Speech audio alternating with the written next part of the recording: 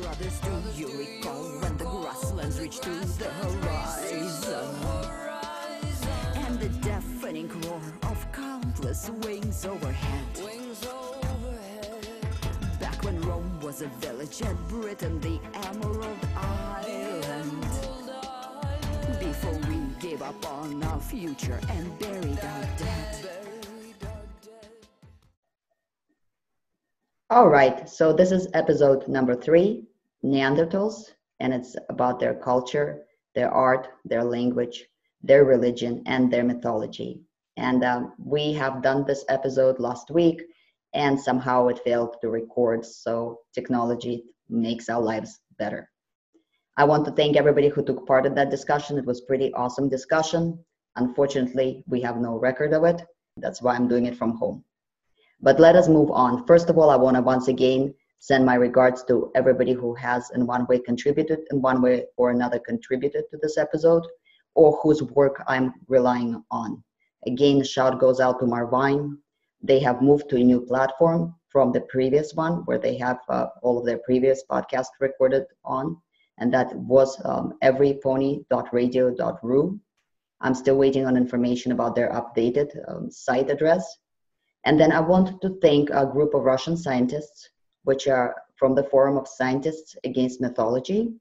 And uh, that would be Sokolov, Drobyshevsky, uh, Zhitenev, whose work I'm heavily relying on in this podcast, and also Berezkin, who is an outstanding uh, Russian archaeologist who is in charge, who has compiled and is in charge of the mythology database of the world.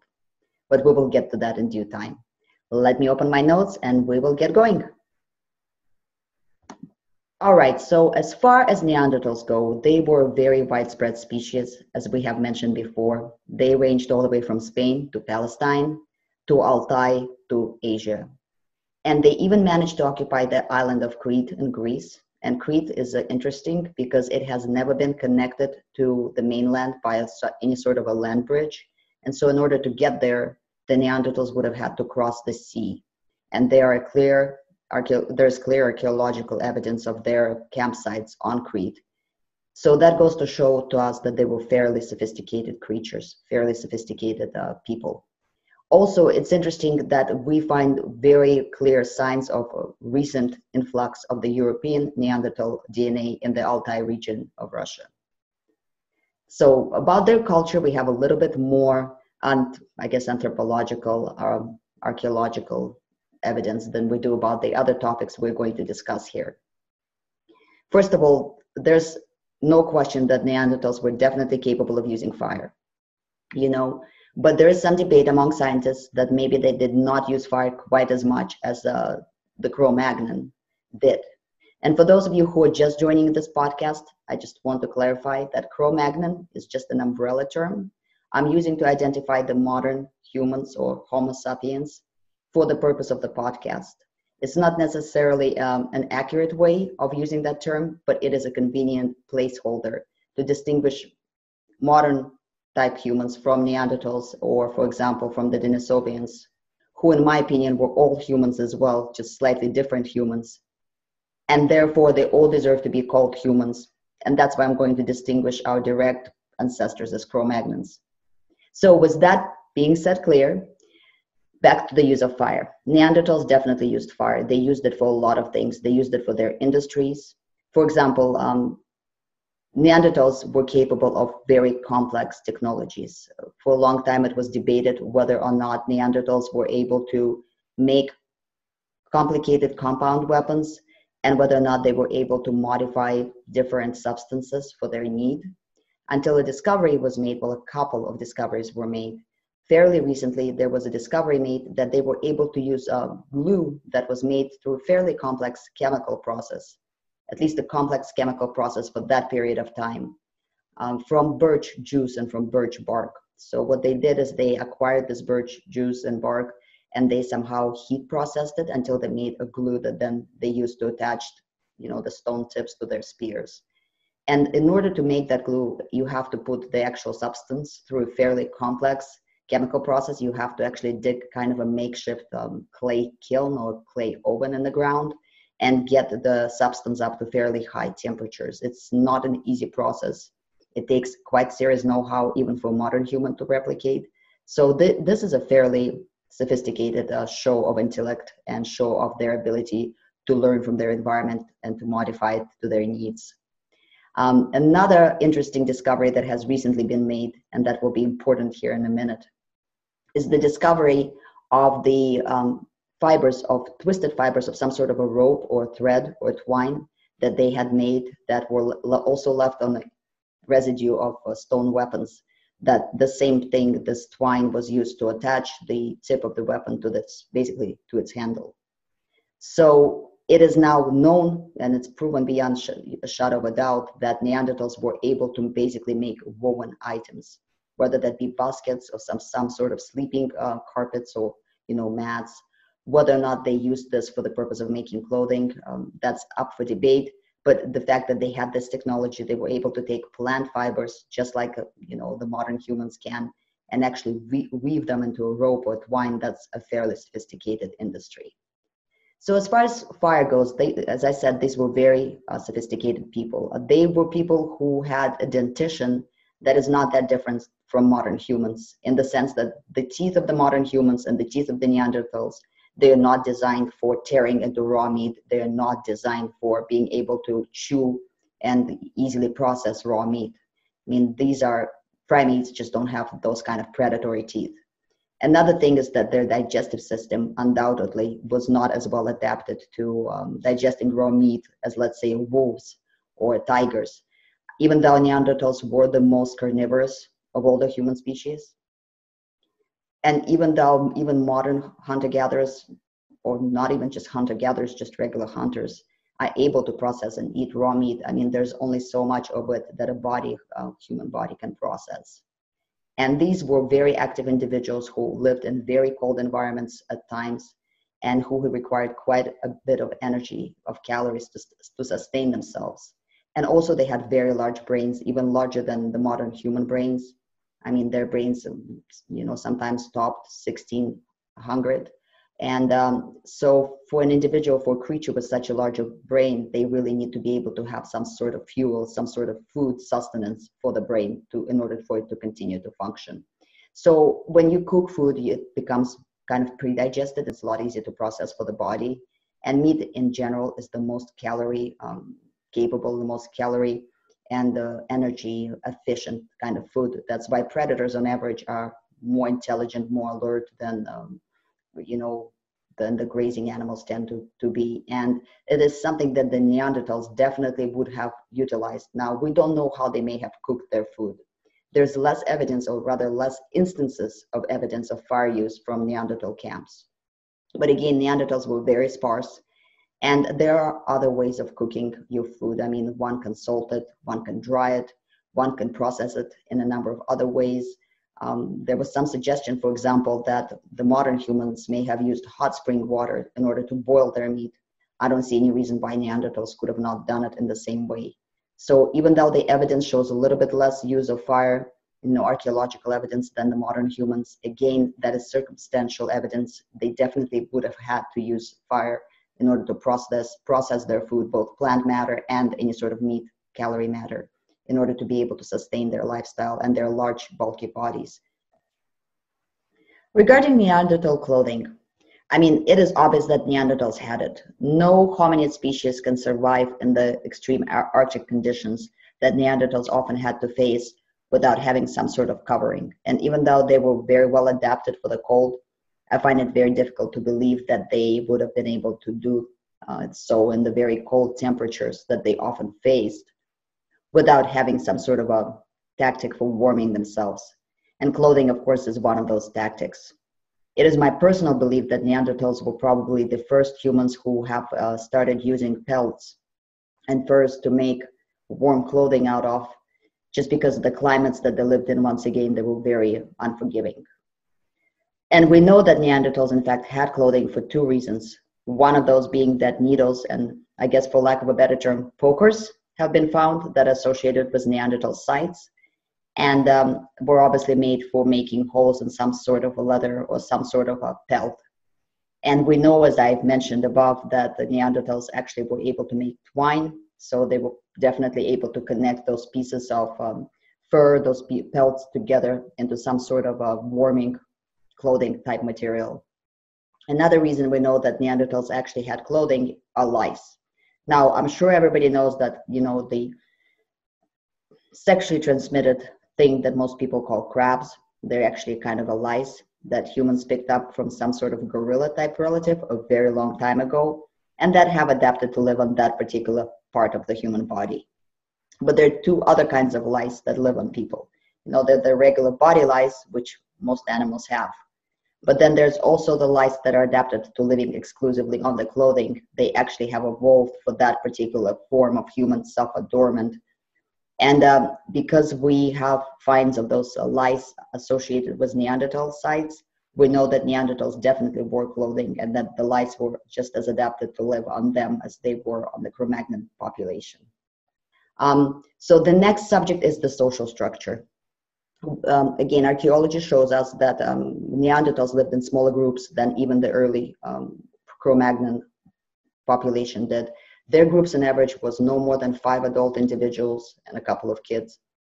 That's a very small unit.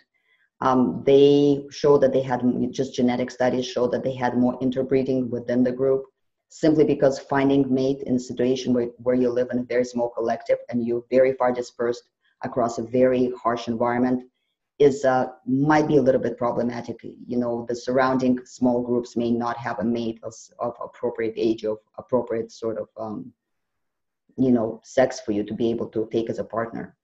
They definitely did swap partners between groups and that's something that most animals tend to do when they're given basically choice to go with instinct. But there was more inbreeding. Now another thing that we see about neanderthals is that they had quite a bit more of gender equality than uh, the cro-magnon population did because both males and females actively participated in, in the hunting all of their hunting undertakings and also did the children. So and we can see that from the trauma on the bones of the you know, of the individuals that have been found, and also from the tear and wear and signs of arthritis, which is even found on very young children, children as young as, you know, five, six years old, which goes to show that these kids and that the women and their groups were actively participating in all the activities, whether it was hunting, whether it was warfare. Well, I guess conflict at that time, it would have not been really warfare. I'm sure the intensity was no lesser than that. Um, but yeah, and there seemed to be to, seems to have been less of a division of labor. And I think I have a personal theory for that. I, I think that um, with the environment that they were in, they were more heavily relying on the animal food, on the protein kind of diet. And in that situation, when you have a lot less gathering of the plant matter, even though they did um, eat quite a bit of plant matter, you know, tubulars and other plant resources, just like Cro-Magnons did, but their diet was shifted a little bit towards the meat diet. And with the meat you have a lot of the a, lot less of the function of the of the gathering that is usually performed by the females in the group.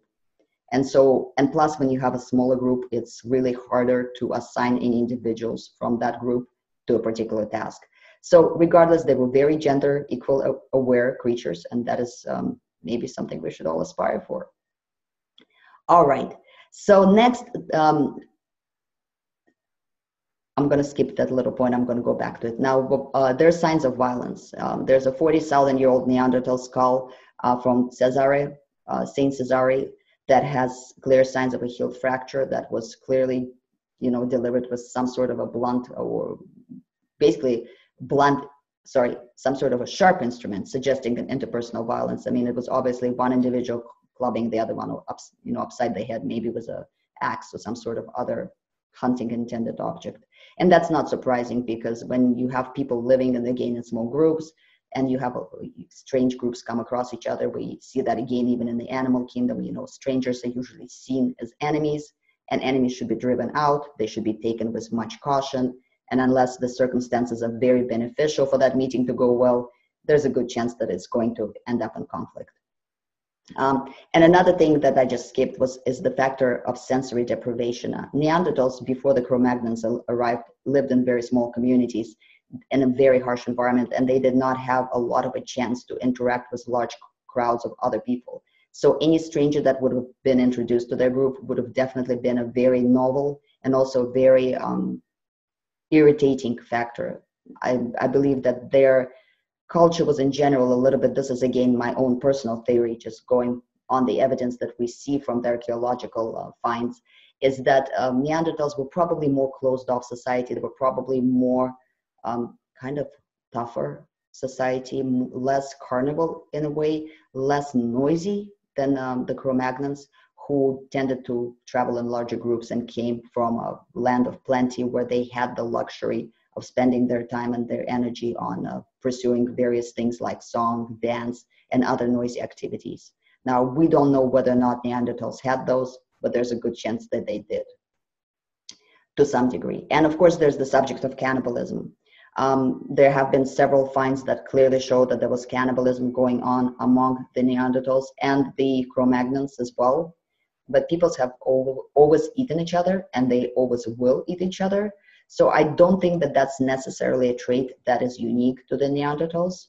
Um, one of the finds, for example, uh, you know, is uh, a situation where a whole family has been butchered, clearly butchered and eaten. I mean, even their bones were cracked to get at the bone marrow. And there were children, there were three teenagers, there were six adults in this family group that got slaughtered and ate, eaten.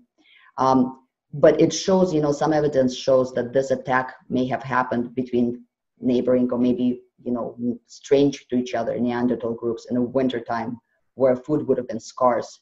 And we know even from semi-modern human accounts that when in time of famine, people will resort to cannibalism you know, and cannibalism is so prevalent in the human culture. I just was listening to another podcast and I kind of heard an interesting story told by the French anthropologists, um, you know, at basically the turn of the century before last, like somewhere in the 19th century. Um, actually, I'm lying, World War One, so it would have been beginning of the 20th, end of the 19th, beginning of the 20th. Anyway, you know that this is when World War One was raging in Europe, and of course, all the European society was absolutely shocked at the number of the dead and the number of the losses that all parties involved in that conflict was suffering. It was the worst war at that time in the history of humanity. And so the anthropologists who have traveled to the island of Papua New Guinea were talking to some locals, and they were very, you know, they were in shock from this conflict taking place. And so they shared the stories of this horrible war where it's, you know, thousands, thousands, millions of people were dying. And the local tribesmen who, you know, they do practice um, both they did practice at the time of this, you know, of the story taking place. They, I assume they don't anymore. Um, but anyway, the local, um, you know, the local Aborigines basically um, asked them, well, was that many dead? You know, how do you manage to eat them all?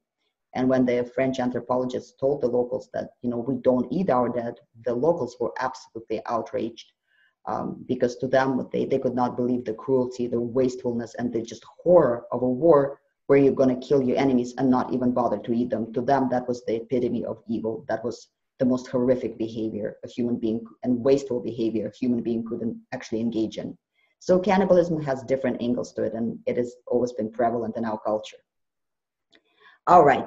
So as far as language goes, now we all know that we're dealing right now with the issue of um, racial tensions in the world and that there's a lot of difficulty uh, finding common ground between people of different you know different social groups of different populations of racial um, self-identification and um, identity and also just you know skin color. And i think that is a very very sad fact because the humans that are living today as i have said before they're all very closely related to you. I mean well to you too but very closely related to each other i mean the actual um, genetic differences between all the people living in the world today no matter how different they look are just they're minute. And we're having hard time finding common ground and being able to talk to each other. Now when the cro-magnons and the neanderthals and the sorry denisovians met for the first time they didn't just look different from each other. They had different genetic code. They have been separated by thousands and thousands and you know tens of thousands of years from each other their languages were so vastly different. They were not different like our languages are today. They were different in the sense that actually their throat you know their um, anatomy of their ear was different from each other. So the sounds they could actually make physically make and sounds that they could hear were different from what the other species could produce. And even their hearing diapason was slightly different and so for them to be able to understand each other, to learn each other's language was very, very difficult, unimaginably more difficult than what we're dealing with today. And yet, even under those conditions, they were able to find common ground, to find um, some sort of a um, compromise, and be able to learn from each other, intermingle with each other, interbreed with each other, and exchange culture with each other, which you know is something that we are not able to do today, and that is disheartening. I think that we should all think about these ancestors that contributed so much to our culture and try to be a lot more tolerant towards anybody else because honestly, we're not that different. Um, the interesting thing about the different sounds that the languages um, make, uh, that the languages, that the scientists think that the Neanderthal language had from the Cro-Magnon language, is that there is some debate. Some scientists um, hesitantly suggest that there may be some traces left of those sounds, of those different um, vocal capabilities in the modern human languages from Neanderthals. One suggestion, or from the Denisovans. One suggestion is the tonal nature of some languages in Asia, particularly the Chinese, Vietnamese, and other re- related languages. There's some suggestion that that you know sing-song tonal quality of the language, which is fairly rare in human modern human languages, may have been uh, something that they picked up either from their Neanderthal or their Denisovan ancestors. Another group of languages is the uh, Caucasian, some of the older Caucasian languages from the mountains of Caucasus. Now, mountains in general and isolated islands, they tend to be kind of the last preserve for um, groups that are getting, for whatever reason, overran on the mainland or overran on the plains. And because these areas tend to be so hard to reach, um, groups, languages, cultures, and unique, um, you know, morphological types of people, just unique societies tend to survive in those reclusive and hard to reach places. Caucasus is one of those islands of, um, you know, older, very, very deep rooted in ancient cultures, languages, and customs. And it's a fascinating place. Now, Caucasian languages, some of them have very interesting set of sounds in them that are not often found in a lot of other languages. And that's a very kind of, you know, throaty kind of almost rasping sounds. Uh, there's a lot of um, consonants. Sorry, I forgot the word for a minute. Consonants in the Caucasian languages. Sometimes you can have three, four, five of them in a row. So, and it's, and it's a very beautiful language. It sounds very, it's, it, throat is used a lot to modulate some of those sounds. And because um, Caucasus most likely was another location where some of these more are ancient populations, you know, more ancestral populations may have held out for longest um, it is there's some suggestion that those particular sounds may have been picked up by the languages of Caucasus from the Neanderthal ancestors. Another language, this is not related to Neanderthals, but I'm sure you have heard of some of the African click languages where some sounds are replaced by kind of sounds and other similar sounds. There's some also suggestion that those languages, which are also some of the oldest linguistic groups that exist on the planet today, and the people carrying those languages have some of the most um, ancestral genes, you know, and uh, the greater diversity of genetics than people who live outside of those communities, which usually suggests, you know, the more diverse your genetic pool is, the more ancient your population is, because you have had the chance to evolve and diversify from one another. There's also some suggestion that those click sounds in those languages may be an ancestral um, language feature that either was picked up from the original Cro-Magnon languages or maybe from another you know species or close population of hominids and early humans who have lived in those areas because scientists have found some trace evidence of another population um, different from Cro-Magnons, different from the Neanderthals, different from the Denisovans that also contributed to our modern human population and particularly in Africa, which I think is fascinating to think that all these ancestors live in us still. And I just want to make a disclaimer that, you know, I'm very prejudiced against one culture, one culture in the world.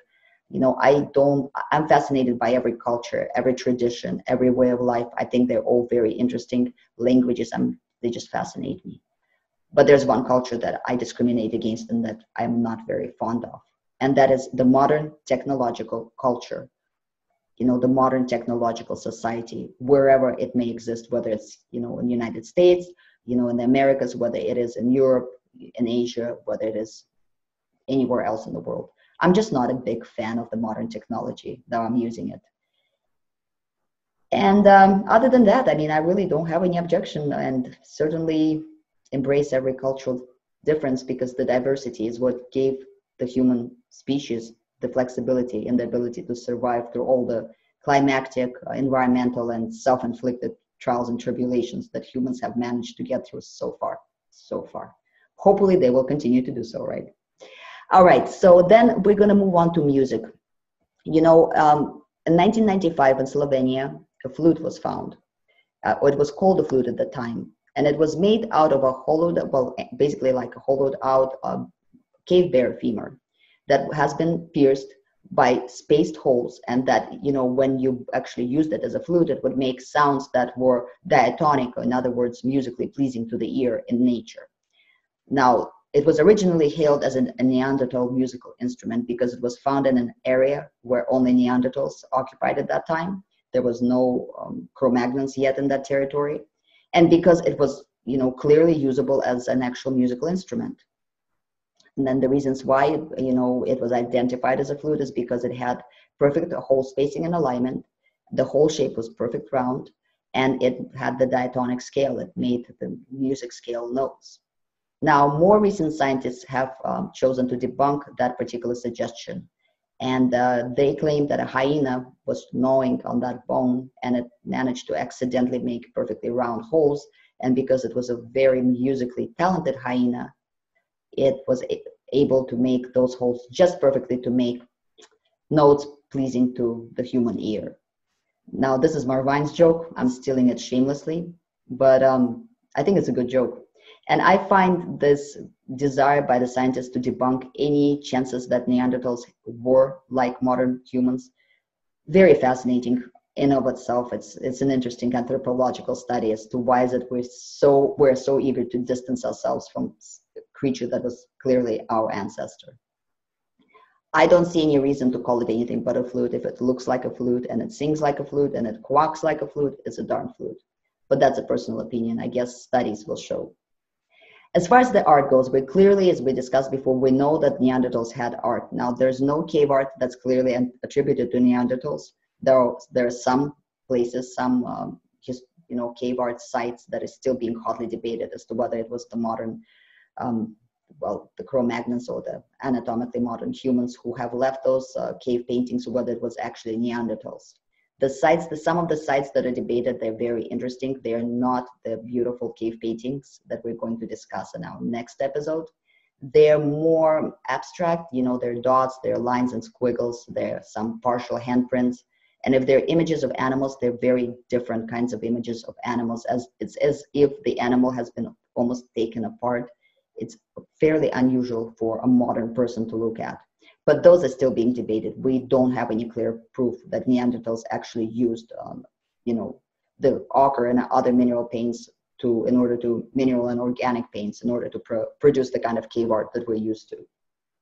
But they have found in Spain in cave of uh, Los Avi- I cannot pronounce this, Aviones, Los Aviones, they found some ochre and paint containers that were made out of seashells that is you know as actually referred to as makeup containers i don't know why but there was definitely you know neanderthals had some sort of container that they found that they put um, the ochre into and that they were using this pigment for some purpose now ochre can be used for a number of reasons it can be used to um, even modern people in Siberia and Africa, they will use this mineral to cover their hair and cover their faces because it tends to chase away parasites, blood-sucking insects.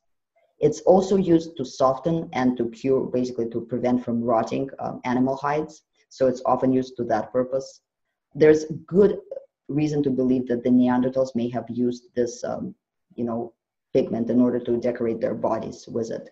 Again, I mean, obviously we have no proof of it, but when you use a pigment frequently in order to put it on your body anyway for hygienic reasons, it's not a very far-fetched jump from there to think of then using that pigment for other purposes, such as for you know signaling between groups as far as status, you're belonging to a particular group, claiming your territory, and so forth. It's definitely very widely used even with modern populations of uh, hunter-gatherers. Jewelry, they definitely made jewelry. There was a site where they, they meaning the archaeologists, of course, where the archaeologists have found some jewelry um, shells that were used for decoration. And for a while, there was a debate whether or not it's, and because the time period when this jewelry was produced was a time period where the Cro-Magnons have already come into the neighboring areas. There was some debate whether or not this was something that Neanderthals actually picked up from the Cro-Magnon neighbors, whether they stole the technology, the idea, or they physically stole the jewelry was debated. And so some analysis was done on the way that this jewelry was manufactured. And it turned out that the method of actually making the jewelry was vastly different from what the Cro-Magnons were using. So this is clearly unique Neanderthal um, process for making shells into jewelry. And there are other, you know, basically cases of uh, Neanderthals using various items for, for decoration, or at least we think that's what they use them for. Again, I think if it's, you know, if it barks like a dog and it walks like a dog, it's a darn dog. But so some of those examples, they found some remains of birds of prey, such as eagles and falcons, where, um, for example, their talons were cut off and the rest of the you know, bird was not eaten or utilized in any other way at all. And the talons were mo- modified in such a ways to where they could be attached to things, you know, they could be worn as jewelry or attached to clothing to decorate the clothing. And uh, basically, I mean, there's no other reason you would catch a bird of prey, which is a very uh, time consuming, very kind of dangerous and just energy inefficient enterprise really and just in order to cut off its talents unless those talents had some sort of social meaning some sort of status meaning some sort of semantic meaning within your culture. And again with the birds of prey you know in croatia and in spain um, there are places uh, where they've found basically bird carcasses where the bird again was untouched for any sort of culinary purpose but just the flight feathers of this bird of prey which are very large they're very beautiful were cut off. Clearly, you can see the cut marks on the remains of the birds and were likely used for decoration purposes because we know even from modern cultures that feathers is something that's often used as a part of a costume of us for some sort of other decorative purposes. I mean, the only other use for a large sturdy feather that I can think of really would be to use it as a brush. But a feather is, if you've ever handled a feather, you know that it does not do so well after you handle it a few times, it becomes frayed and completely useless. So to go out and catch these hard to get and rare birds and dangerous birds just for the sake of using their feathers as a brush, it's possible. In Crimea, which let's not debate who's, which country it belongs to, but it found some raven bones, and they actually found 17 individual objects of these raven bones. You know, and these date to 43 to 38 uh, thousand years, and these uh, raven bones had actually patterns um, scratched into them, and they over decorated in this manner. So it's obvious that these bones, uh, these bird bones were used specifically. And again, raven is not a kind of bird that you usually eat. Ravens are not known for their culinary um, usefulness. But um, these bones were obviously used as some sort of decoration.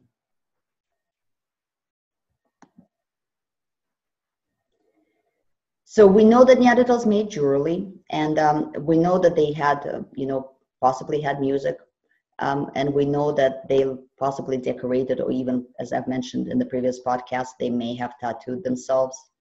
Um, we also know that Neanderthals had religion. Now, that's something that's again very hotly debated by the scientists today. It's been debated from the day that this subject was raised, but I believe that the evidence, the actual archaeological evidence that we have, leaves no doubt that these were people who had some sort of uh, worship, who believed in some sort of um, higher power. I mean, very first fact is the fact that they buried their dead. They buried their dead not only in sanitary burials, but they have buried their dead in poses that were very reminiscent of sleep. And I'm sure you all know that um, association of the idea of sleep and death. I mean, it's been associated in human cultures throughout history. And there has been some argument that they did not leave any kind of uh, grave goods, that they did not bury any items with their dead. But that's not true also. They have been several finds were it is either proven or it is hotly debated and highly likely if you use the Occam's razor principle that actually the items that were found next to the bodies, next to the remains of Neanderthals who were buried by their um, you know, contemporaries, potentially their family members, that they were actually grave goods. For example, um, in Iraq, um, 1975 find was a, a burial of um, an individual who was completely covered in flowers and it's the uh, famous flower burial. And the amount of flowers that this individual had piled up on their grave, it was an enormous pile. It was just an enormous pile of plants, flowering plants uh, that were actually all had medicinal properties. So we know that these plants today are used for, you know, by local native cultures to treat various kinds of ailments. And this was obviously in spring, and the people have, would have had to go out and put forth a considerable amount of effort to gather these flowering plants from all the surrounding areas and actually bury this individual with uh, the plants, uh, with the flowers that were medicinal. Now, there has been some speculation that this may have been a shaman or this may have been some sort of a healer, and that this was a way of, you know, for the tribe, for the surrounding communities to honor a knowledgeable person or, you know, a wise person in their tribe. Um, counter argument has been put forth that the pollen, because the reason we know this individual was buried covered in flowers is because there was pollen remnants on the grave, fossilized uh, pollen. And uh, there has been some counter argument that the pollen has been dragged there by rats or groundhogs or some sort of similar animals or birds. You know, I think that that's highly unlikely. I mean, for that amount of pollen to be concentrated and specifically in the site of a burial, again, it stands to reason that it was placed there purposefully. Um, another, um, you know, sign of Neanderthal art and also Neanderthal architecture. And we know that Neanderthals were capable of construction. We know that they built dwellings. We know that they were able um, to build uh, basically uh, windbreak walls. And uh, in some cases, they actually built kind of uh, niched enclosures for certain artifacts. But another, you know, clear evidence of construction is um, uh, a cave in France, Bruniquel cave, where, you know, basically there's ring structures that are built inside the cave and it's not a cave where neanderthals actually lived. It is a cave that they went into for some sort of purpose. I would argue and a lot of people would argue ritual purpose. Uh, but they took stalagmites and they uh, pieces of stalagmites and they arranged them into circles and spirals uh, for no specific uh, reason you know utilitarian reason that anybody can suggest. So this is was obviously an abstract reason. It was uh, some sort of symbolic reason most like the religious one. Of course, very well known is the cave bear cult um, idea, um, where in several locations, one of them would be Drachenloch, famous Drachenloch in Switzerland, where cave bear um, skulls were separately placed into the niches that were made in the wall or were made, you know, inside the cave, and they were arranged in a certain way. People have tried to deny the fact that this was done purposefully because, I mean, when you have separated heads of an animal, and an animal such as a bear, which is a very enigmatic animal in modern cultures, well, relatively modern cultures, it is often associated with the, um, to, you know, kind of the idea of totemism, where you believe that your tribe, your people have uh, not only spiritual but actual ancestral relationship with a specific um, animal that you hold in high regard. And bear cults are very prevalent throughout human history Slavic, early Slavic and Germanic tribes um, are known to have, um, to this day, actually, in some villages, it is practiced. Um, the idea that the bear is a very, bear is kind of the keeper of the forest. Bear is the counterpart to the humans. Bears eat the same things that humans eat. They're omnivores. They're the only animals in the north that look a lot like humans, especially when they stand up. At least the modern bears do this. There's some argument that the cave bears were actually not able to stand up on their hind legs but um, bottom line is, I mean, the cult of the bear head, the cult of the bear of the bear paw is very well known throughout human history. Ainu who the native population of the of Japan, who lived there before, you know, people that we know as Japanese today migrated there.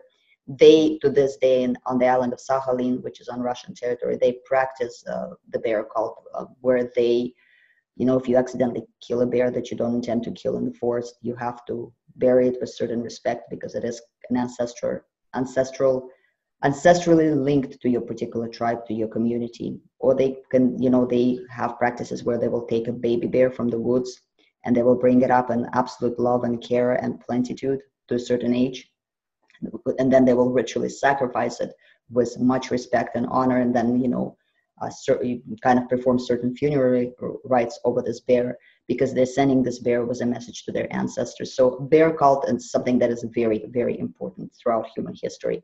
And so in this cave, you know, they found these bear heads that were separated from the bodies. There was no sign that they have been butchered or eaten. There was just the skulls. that were placed in neat rows in their little niches. All kinds of um, attempts to debunk this fact and the fact that it was purposefully done by the Neanderthals have been attempted Morwaen tells a story about a particular um, publication that he has read a while back, where somebody suggested that a pack of bears, pack of cave bears, because you know cave bears they're pack animals, right? So a pack of bears was hunting in the mountains, and long behold came a flash flood, and this this flash flood was so violent that it managed to tear off all these pack pack bears' heads clean off strip them of all, of all the flesh and then neatly place them into niches that it had conveniently made you know in the walls of the cave. I mean this is a theory that is likely as the whole idea of a very musically talented hyena. Um, and i think that this is exactly what it looks like. It's either totem cult or some sort sort of a basically religious practice. Otherwise there's no reason why neanderthals would separate the heads and place them in such neat order and this is not the only find related to the cave bear and uh, the Neanderthals. Um, in uh, Re- uh, Régueram, France, a row of cave bear skulls was found facing the cave entrance in a half circle as if they were looking out of the cave. And again, this is a cave where there's no sign of actual activities. There's no sign of butchering. There's just these, you know, skulls that are placed in a half circle with obvious meaning. So I think that all of this is fairly good indication that um, Neanderthals definitely had some sort of uh, worship. And then uh, last find uh, that has to do with the funerary practices is uh, uh, Teshik Tash, and that was found in 1938 in Central Asia, a former USSR. Um, and it was a burial in a shallow pit of a youth, um, of a boy most likely, who actually was attacked by a bear to, to where half his face and his shoulder had been ripped out and he was buried in such a way where red ochre was placed over the site of the wound. And he was buried with some grave goods. Um, and again, we go back to the subject of Neanderthals not ever placing grave goods into their burials. Well, there have been several finds where that, that has clearly been proven to not be true. So this, um, you know, youth was buried with uh, horn cores that were placed around his head. I mean, um, and you know, actually Siberian ibex horns were placed almost like a fence around the grave. So obviously this was an individual who has died, who was greatly honored, who had some sort of items inventory put into his grave, and also had a kind of an enclosure built for his grave. And the grave was obviously tended by either his relatives or his tribe. We don't know what this individual's um, status was within the tribe or the group, but it was in, clearly an individual who was greatly mourned and uh, you know some significance was put and some effort was put forth towards this individual's burial. Okay let me scroll down just a little bit and we're going to do some more interesting stuff. Mythology. So we're getting into the very speculative uh, stuff and this is where i'm using the material from the russian scientist um, yuri Berezkin and Berezkin, he is actually an archaeologist, but he is an archaeologist who has, um, in the past years, begun compiling a database of human mythology. And you know, when you think about mythology, you kind of think about these stories from the Greeks um, about Zeus and all that's, you know, the stories from the Scandinavian, you know, sagas. The mythology we're talking about here is not this kind of mythology. I mean, what he does, what Berezkin does, is he takes, you know, stories mythological stories from every part of the world, and he deconstructs them to very basic snippets, to kind of almost like memes that are inside the story. For example, you know, did I don't know, did the eclipse eat the moon or eat the sun? So you have a short snippet. You know, the eclipse is basically portrayed as darkness swallowing the sun, for example. Or another myth, uh, you know, mythos like that is uh, the one about the diving animal. So this is one about how the earth was created, how the land was created, and this story tells about, you know, that there was only water all around, and then some sort of an animal. And in different cultures, it's a different kind of animal. It can be a duck, it can be some sort of a small, you know, it could be a ferret, it can be any kind of it could could can be coyote for you know it doesn't matter it doesn't matter who the actor is what matters is just the action and the very short kind of basically condensed version of the story. And so this animal dives, you know, to the bottom of the sea, and like well, an otter or um, you know seal dives to the very bottom of the sea. It grabs a you know small amount of the of the earth from beneath the sea, and it brings it up to the surface, and that's how basically our continents are made, or you know, at solid ground is made. That those are kind of the methods that um, are input into this database. And Berezkin has been compiling this database for several years. It's a unique database in the world. Um, and he has been having correspondence from all around the world, uh, sent him various mythos from all around the world's cultures.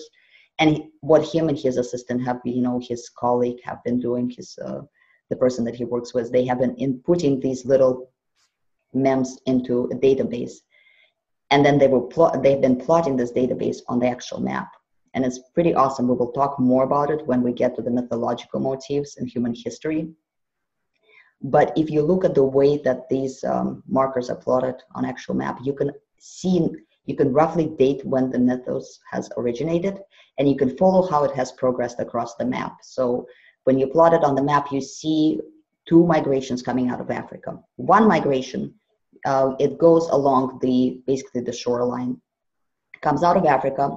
You know, they have very little data for the Middle East because Middle East population has been replaced so many times there's very little trace left of any sort of mythology in that region. But then it skips over, you know, Middle East and it winds up, uh, you know, in India and China, and it continues along, you know, the warmer kind of zone and climates across the islands, and eventually winds up in the South America. So, you know, what is supposed from that migration from that particular plot line is that it's likely that there was a, you know, first wave uh, into Americas that, you know, made it up possibly through the Bering uh, as well as the second wave, but it was pushed by the later migration wave all the way to the far south end of the Americans of the Americas together, and that so in the Americas, South Americas mythology, it matches the mythology that still exists in Africa. Now, so all of this, you know, this whole region, like I said, it comes out of Africa, skips Middle East, goes through India, parts of China, you know, Siberia, it goes through the islands, and binds up in South America. They all match each other. And this is a mythology um, that has, for example, things like um, rainbow. All of those cultures, you know, in our culture, rainbow is a very positive thing, right? I mean, we think about leprechauns, with you know, we've tried to make a wish on it. Um, the LGBT movement uses it as a symbol. But in those cultures, rainbow is actually considered to be a snake. There's actually a lot of snake uh, references in a lot of those mythos. Um, but the rainbow is considered to be a foul sky snake, and it's something that's scary, something that's stinky, something that's very foul, and you need to hide your children from it. You need to run and hide indoors from it because it will curse you. So it's a very negative view of the rainbow. Now, the second migration that came out of Africa, um, it went more along the northern territories. You know, it uh, basically through Europe, um, colder parts of Asia, and then wound up in Americas as well, but it wound up mostly in the Northern America in that second, you know, migration wave.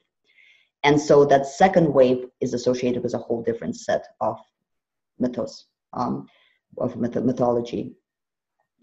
And again, for example, rainbow is a very, and you can very clearly see how this is distributed on the map. Just it's a statistical mathematical equation.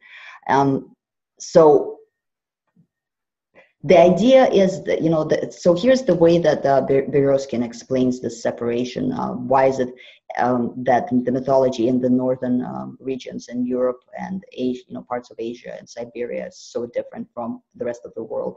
And his suggestion is that um, you know the people who have encountered those much colder harsher climates they had to adapt to a whole new environment. They've lost a lot of their population in a bottleneck lost a lot of older mythology, you know, people who just knew older mythology and so kind of had to reinvent mythology from scratch. I mean, and this is not just the rainbow story. I mean, this has to do with the idea, for example, why, you know, the, one of the very first mythological motifs that's found in this study is why do people die? That's something that people really obviously were curious about. The second motif is how did people come to be? I mean, where did people come from? And so on as all like for example when did man and a woman become separate from each other those kind of things and uh, those are obviously subjects that in human populations have been thinking about debating about um, wondering about since really they first became aware of themselves but um, so what Berezkin suggests as an explanation for that is this fact that they encountered a whole new environment, lost a lot of their members, and uh, had to invent a brand new set of mythology from scratch. I personally propose a new different explanation. I believe that that drastic change of very different ideas in mythology that suddenly appeared in the human population, you know, in the northern human population that happens to match the Neanderthal range, possibly was borrowed and transmitted from the Neanderthal population to the Cro-Magnon population that encountered the Neanderthals. I think that Neanderthals who have been living in the territory for much longer than the Cro-Magnons, who were more or less newcomers, knew a lot about the land, they knew a lot about the animals, they knew a lot about medicinal plants, and that the Cro-Magnons, you know, after the original conflict that most likely took place, had a lot to learn from their Neanderthal counterparts. And when you have two cultures coexisting, not even intermingling, but just coexisting side by side, we see that in modern ethnographical studies. The transmission of the, you know, the mythology of the fairy tales of the folklore is very prominent. I mean, the folklore will migrate and mutate as it encounters new social groups and new societies and even new environmental factors. So you, for example, I don't know, a swan might become an otter or a duck might become a deer, but the basic kind of that snippet of, you know, the action that is at the core of the mythos, it remains. And so you know, those two societies, Neanderthal and Cro-Magnon societies that have lived side by side, as I've mentioned in the previous podcast, in Palestine, they lived literally for thousands of years side by side and actually formed an intermixed hybrid population. I believe that there's a very high possibility that mythology was transmitted from one society to the other. And I think that one of the potential, again, this cannot be proved by any scientific means that I'm aware of, but I think there's a good chance that that mythology may have um, kind of impacted and affected the Cro-Magnon, the modern human mythology in that part of the world where they encountered the Neanderthals. And there's a couple more interesting things about mythology. You know, you, uh, we've talked about those isolated places where groups of um, ancient ar- archaic cultures, archaic not in the sense of their capability, but archaic in the sense of their heritage, you know, who have very deep roots, have managed to survive. And one of those isolates um, is the Basque language and the Basque people who live, um, you know, in the um, that region between Italy and Spain. And the Basques, they are some of the most ancient people in the world as far as their language and their genetics go.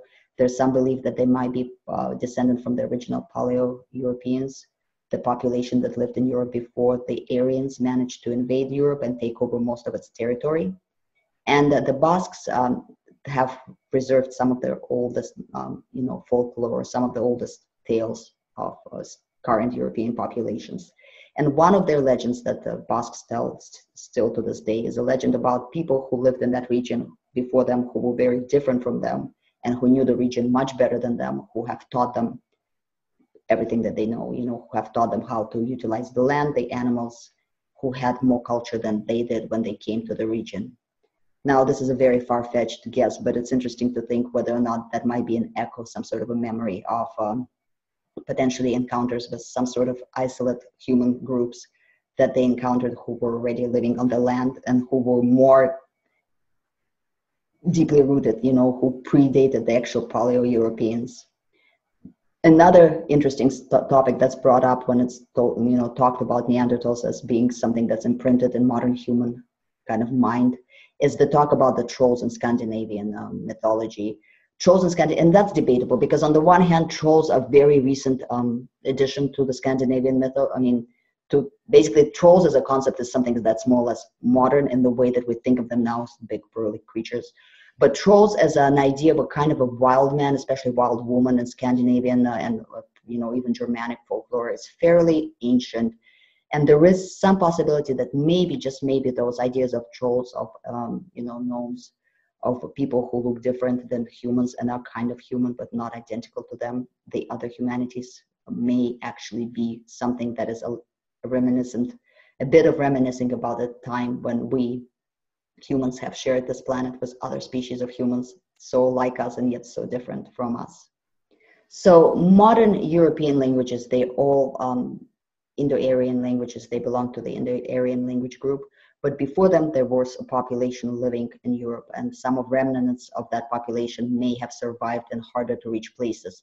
One such remnant that we know of are the Picts, which is a very interesting peoples that Romans have encountered and fought against. The Picts became the kind of the substrate, um, one half of what we know today as the Scottish people. Um, the other half of that substrate are the people from the actual island of Ireland and Ireland was also another place that was isolated from the mainland. And I believe that it is a place where paleo um, population may have survived. Now, with the Irish people, we have was the population that occupied Ireland at that time. we have a very unique morphological type that you do not really see anywhere else in the world. You know, among humans everywhere around the world, things like lighter colored eyes, especially blue eyes, is fairly common. Lighter colored hair, blonde, or even red hair is something that is um, fairly common. I mean, you even see it in Papua New Guinea, you see it in Africa, you see it in a lot of places. But um, the combination of green eyes, really pale freckled skin, and red hair is something that is fairly unique to that region. And it is something that has been discovered, at least early genetic studies on Neanderthals have suggested that they have possibly had those traits as well. It could have been a, ca- a case of co-evolution to where, you know, two different species evolve similar traits just because they reside in the same kind of area. But it is possible that it is a genetic remnant this is purely again my speculation that it is a genetic remnant from those you know archaic populations that may have been secluded on those hard to reach regions of the world. And the thing that speaks i think in favor of my very unprovable theory is the fact that throughout you know european history redheads in general uh, have been even to this day you know redheads are called gingers they're teased they're picked on in school there has been a general subject of redheads being wizards, them being witches, of them being magicians, of them having some sort of other earthly powers. There's, you know, redheads in culture have always been treated as the others, as different from us, and been heavily discriminated against, even in, you know, more recent Christian history. And I think that might be a trace memory of the fact that they belong to a different population than the mainland Europeans did. And the final thing that I want to get to is a very debatable subject, and that is the subject of autism. I've talked to people who study autism. I've also talked to people who are themselves diagnosably autistic.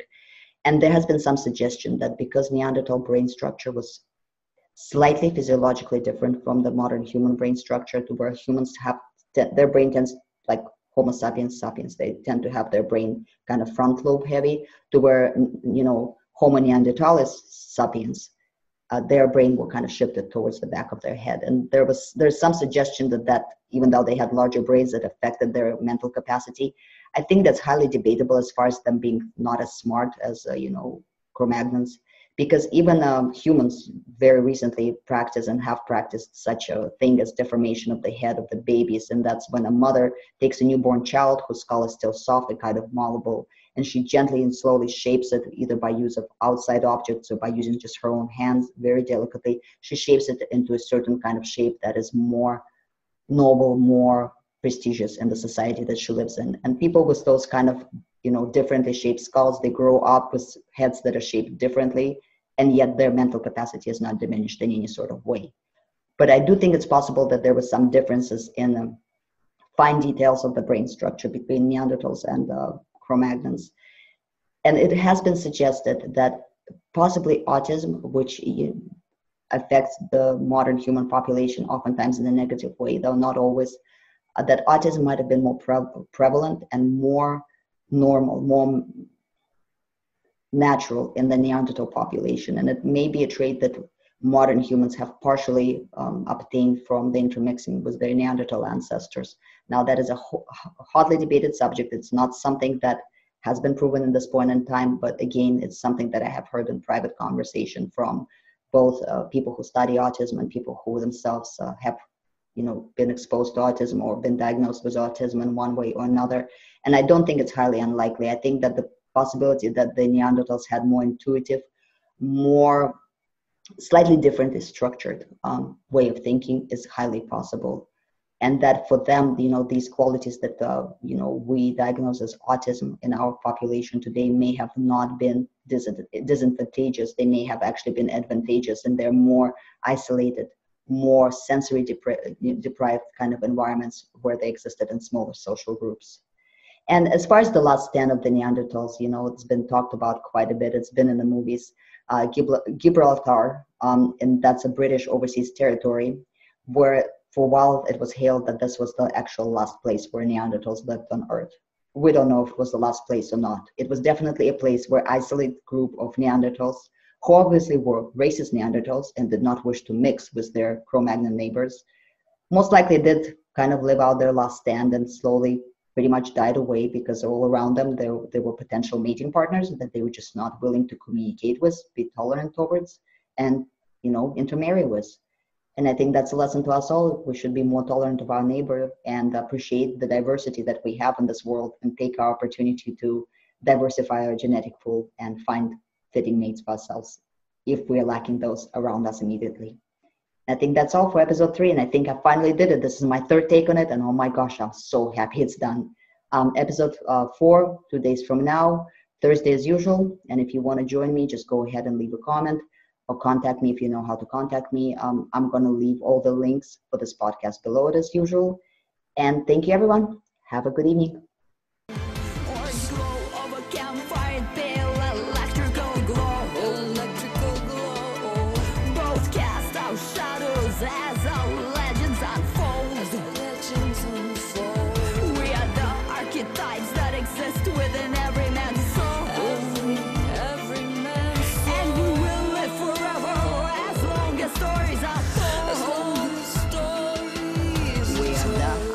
Archetypes that exist within every man's soul.